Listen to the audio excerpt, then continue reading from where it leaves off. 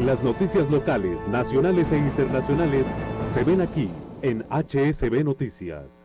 El Ministerio de Comercio precisó que en el último año las industrias asociadas al programa de transformación productiva generaron más de 51 mil empleos. De esos sectores se destacan algunos que tendrán oportunidades con el acuerdo, como es el caso de confecciones, textiles, cueros, cosméticos naturales, al igual que productos para la industria farmacéutica y cuidado personal. Las cifras registradas por parte del Ministerio de Comercio el año pasado muestran un importante resultado de las exportaciones colombianas hacia ese destino, pues ascendieron a 8.868 millones de dólares, con un incremento de 76,7% frente a 2010. En los primeros 10 meses de 2012 también se destaca el comportamiento de las ventas nacionales, las cuales llegaron a 7.447 millones de dólares para un crecimiento de 5,4%. El acuerdo ofrece un marco que permite la prestación de servicios, ya sea a distancia o cuando se requiera, desplazándose temporalmente al país que lo demande para realizar allí su labor. Es decir, los proveedores de servicios contratados por una empresa colombiana podrán prestar un servicio en la Unión Europea o ingresar y permanecer en el territorio europeo por un periodo de seis meses. Finalmente, el ministro Sergio Díaz Granados afirmó que avisora un futuro promisorio para las exportaciones y las inversiones en servicios. Según el ministro, en este tema se lograron condiciones estables para los inversionistas europeos ubicados en nuestro país.